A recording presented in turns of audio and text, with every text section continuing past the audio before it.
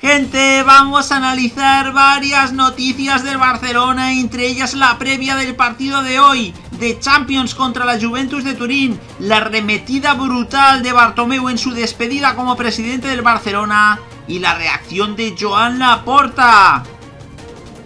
¡Vamos a ello!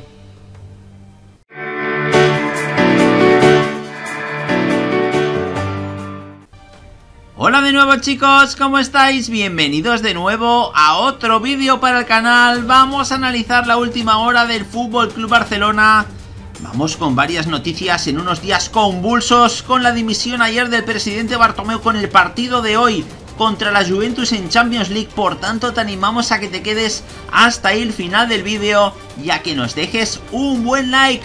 Vamos chicos a analizar el partido de hoy y es que vuelve la Champions para el Barcelona convulsión total como decimos en el Barça, el club azulgrana recibió un duro golpe tras perder el clásico contra el Real Madrid con un penalti muy polémico y apenas tres días después se ha confirmado la dimisión de Josep María Bartomeu por la no menos controvertida planificación logística del voto de censura. No parece precisamente el mejor momento para hacer frente a otro duelo de grandes dimensiones, pero el calendario está comprimido a causa del retraso de inicio de temporada tras la pandemia y este miércoles tocará enfrentarse a la Juventus de Turín en el partido de la segunda jornada de la fase de grupos de la Champions League.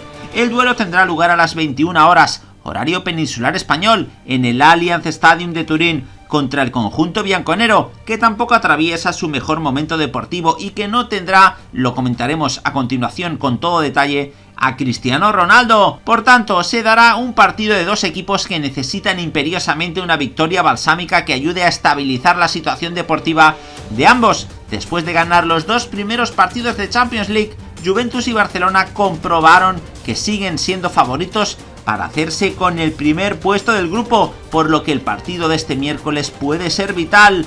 De cara al partido contra la Juventus, Kuman no podrá contar con los tres jugadores que por lesión se quedaron fuera de la lista de convocados. Marc-André Ter Stegen, que se está recuperando de la operación en el tendón rotuliano, Philippe Coutinho, que sufre una lesión muscular en el bíceps femoral, y Samuel Umtiti, que sigue con molestias en la rodilla. Además, tampoco podrá estar por sanción Gerard Piqué, ya que vio la cartulina roja directa contra Ferenbaros. El resto del equipo estará a disposición de un Kuman que partirá con una alineación titular con cambios en algunas líneas. Neto estará en la portería con Climent Lenglet y Araujo que formarán el eje central. Sergi Roberto dará descanso a Jordi Alba en el lateral derecho y desplazando a Serginho de esta izquierda. Frenkie de Jong y Sergio Busquets formarán el doble pivote, aunque Pjanic también parte con opciones. En zona ofensiva, sin Coutinho estarán seguro Messi, Ansu Fati y Griezmann, mientras que el cuarto puesto se lo disputarán Pedri González, Francisco Trincao y un Usman Dembélé que partirá con ventaja para entrar en el 11.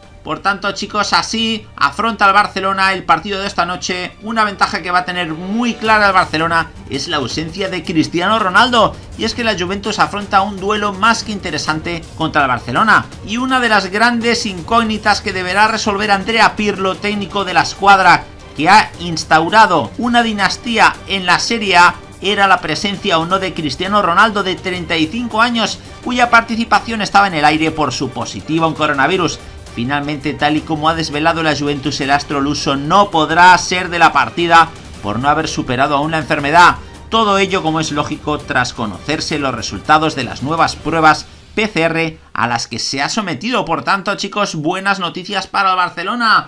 Vamos a entrar ahora, chicos, ya en todo lo que tiene que ver con la dimisión de Bartomeu y es que se fue dándole con todo al gobierno catalán. Bartomeu se ha ido del Barça atacando. El expresidente del Barcelona, que anunció su dimisión y la de toda la junta directiva, cargó contra la Generalitat de Cataluña. La dimisión de Bartomeu vino forzada después de la decisión del gobierno catalán de no aplazar la moción de censura prevista para los días 1 y 2 de noviembre. Ello obligó a la junta directiva a reunirse de urgencia comentó, pedíamos a la Generalitat cobertura legal, la misma que pidieron ellos al gobierno central.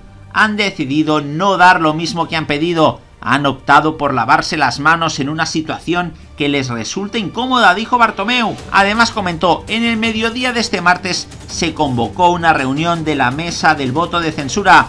Tanto los impulsores de la moción y el presidente de la mesa se han opuesto al cambio de fechas y han asegurado que emprenderían acciones legales contra la junta directiva. Calificó Bartomeu las decisiones de incomprensibles y además irresponsables. Comentó en un momento en el que la Generalitat está tomando decisiones e insinuando el confinamiento los fines de semana, unas versiones contradictorias. En este momento no encuentro otro calificativo que irresponsables. El expresidente del Barcelona aseguró que la decisión de la dimisión es actuar con responsabilidad comentó teníamos que garantizar la salud de todos. La voluntad de la Junta no ha sido nunca la de perpetuarse en el club. Tras la eliminación de la Champions lo fácil era dimitir, pero teníamos que garantizar el futuro del club en medio de una crisis mundial sin precedentes.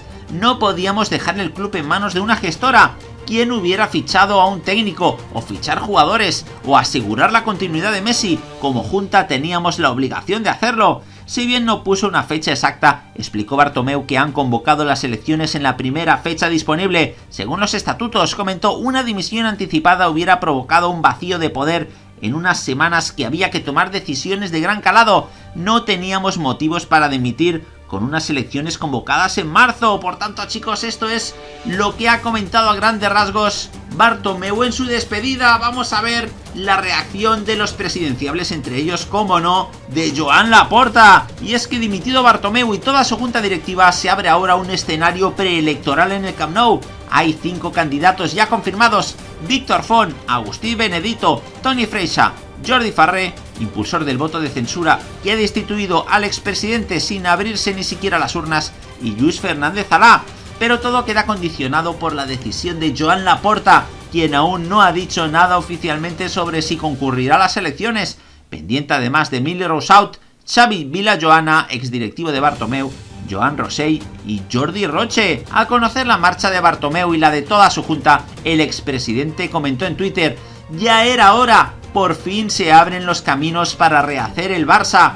Esto es lo que escribió Laporta, aunque sigue sin dar pistas sobre si se presentará a la lucha electoral que podría tener fijada su fecha para inicios de enero de 2021. Víctor Font por su parte considera que el Barça necesita un rescate teniendo en cuenta la delicada situación económica en la que se encuentra sumida. Además, a una crisis deportiva, comentó, puedo decir con más ilusión que nunca que tenemos las ideas, el equipo y el empuje necesario para reconstruir el club. Por otra parte, además, ha lanzado FON una idea a Carles Tusquets, que será el presidente de la Comisión Gestora del Barcelona, el órgano encargado de preparar las elecciones antes de tres meses. Comentó en momentos excepcionales, medidas excepcionales. La pandemia forzará que se hayan de implementar medidas que los estatutos no contemplan como el voto descentralizado uno o dos días y el voto electrónico puede ser la mejor herramienta para garantizar la seguridad y maximizar la participación. Por tanto, chicos, esto es lo que han comentado